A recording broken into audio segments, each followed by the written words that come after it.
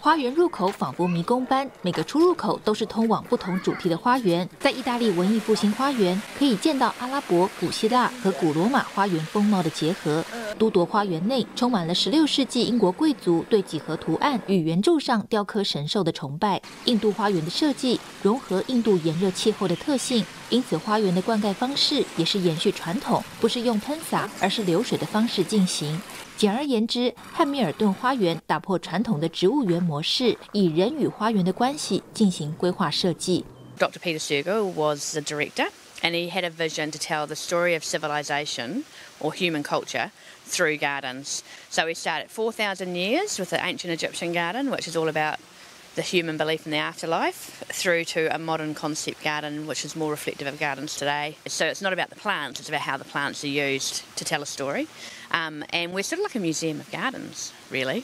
毛利花园主要展示了毛利原住民在粮食生产与储存的传统做法和仪式，也是目前纽西兰唯一的毛利传统生产性花园。 此外，还有结合儒释道精神的传统日本景观花园，在以汉唐文人花园为主创的中国式庭院，蜿蜒的小径、小桥、流水、绿竹和六角亭，还放置了远古传说能护佑人免于水火劫难的神原雕塑。Very pretty. I didn't even know it was here in Hamilton, so it's very nice. I thought you actually had to pay to come here, uh, and it was free, so that was an absolute bonus.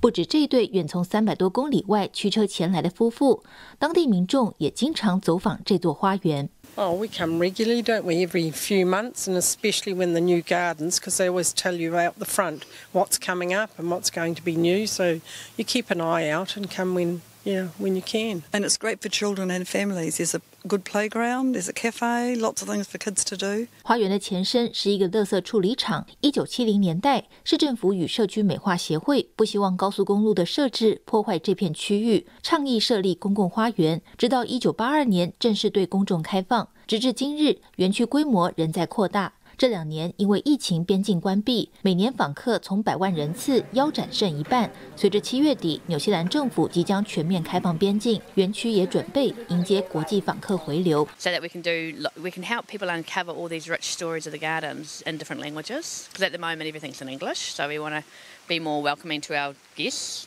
Um, I want to do lots more of activation. So I want to do lighting shows and events and concerts and you know have provide more reasons for people to visit. Yeah, but we can't wait. 来到汉密尔顿花园，就像逛一趟世界花园博览会。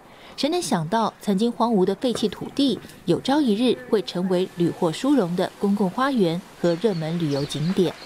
新唐人记者卢天长、张明竹，纽西兰汉密尔顿报道。